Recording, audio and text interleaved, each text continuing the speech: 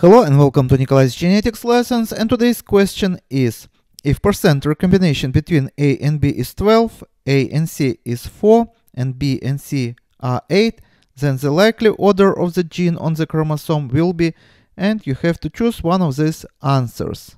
Here's the algorithm how we solve this type of problems. You have to understand that recombination frequency equals to the centimorgans. So if uh, we have 12% recombination frequency, that means 12 centimorgans because 1% of the recombination frequency equal to 1 centimorgan. And the higher recombination frequency, that means the longer this fragment. Our first step would be to choose the longest fragment, and this is fragment AB, which is 12 centimorgans.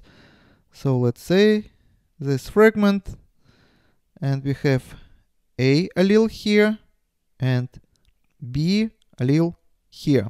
Next, we have to choose second in length, and we have second in length fragment BC, which is 8 centimorgans. And we can put this fragment with here. So we are going to have C here and 8 centimorgans here. So this fragment is 12 centimorgans. And we also can plot it here, this side.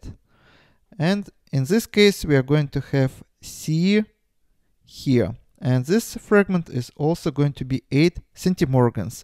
The last fragment is going to help us to choose the correct variant.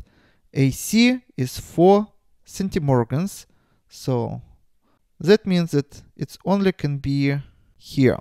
If we will plot fragment BC this side, of course, between A and C, we are not going to get 4 centimorgans.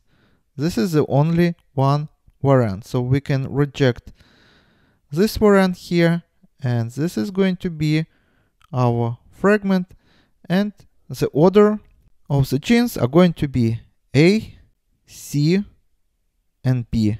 And this is answer C. And this is all for today. Thank you for attention. Please subscribe for my new videos that I post almost every day.